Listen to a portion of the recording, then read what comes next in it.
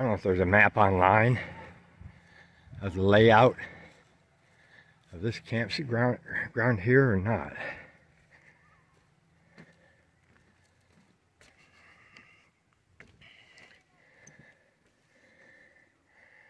Looks like they brought their Halloween with them too.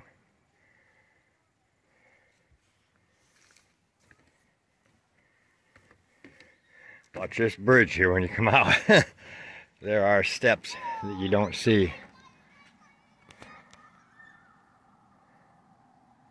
Alright, so here we got sites 1 through 139, sites 140 to 216, sites 217 to 224. So that tells me they got at least 224 campsites here. That's a lot of sites. That's a lot of sites. I'm going to walk up this way to the 1 to 139. I don't know what that building is there, if that's a camp store or what that is. I think I might walk up there first and see what that is. Then I'm going to walk this way because this is sort of probably the direction I want to go to find a way back into the woods. Like this is a wash house. Pop machine, laundry, open 8 to 9, 8, 8 a.m. to 9 p.m.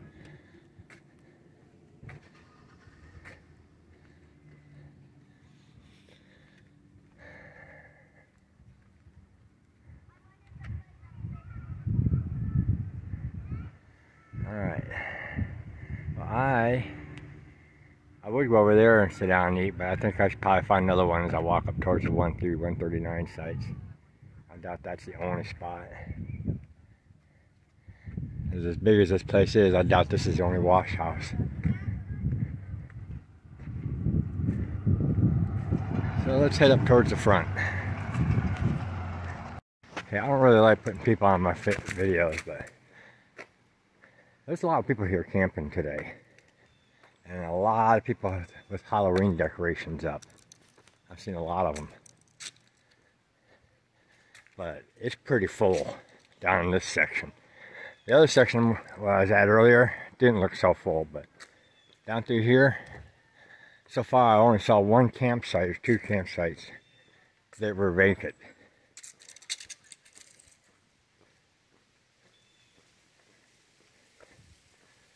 Other than that, every site down through here in this area has got somebody there.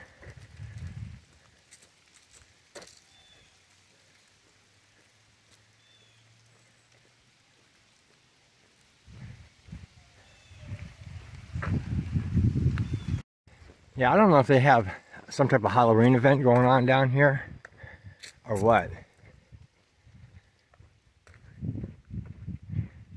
because I'm really surprised that there's some really trick or treat. See, I'm really surprised at how full this place is and how many people got Halloween stuff up.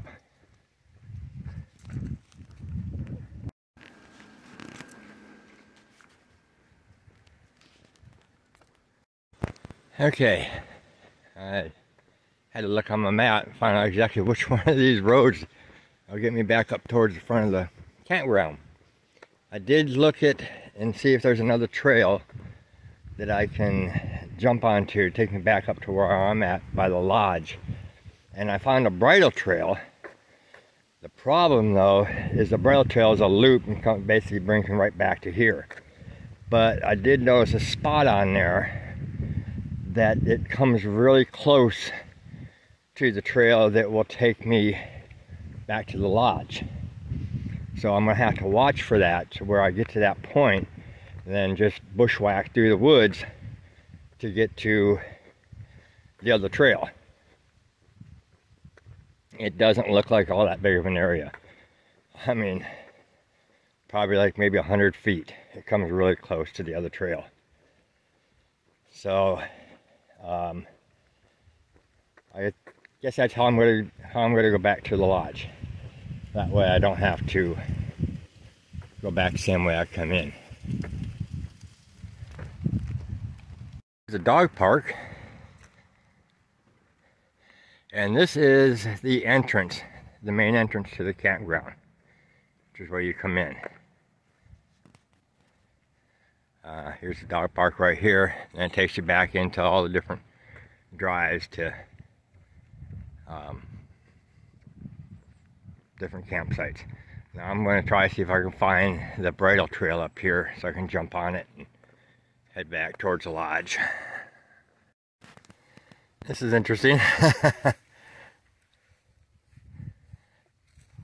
I wonder how many of these uh, decorations, I think a lot of them at the campsites though are probably personal ones, but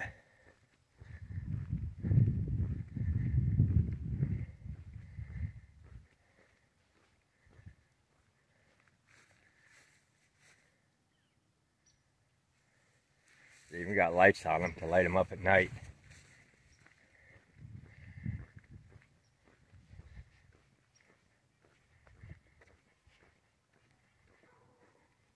It's supposed to be a spider, and that's a spider web.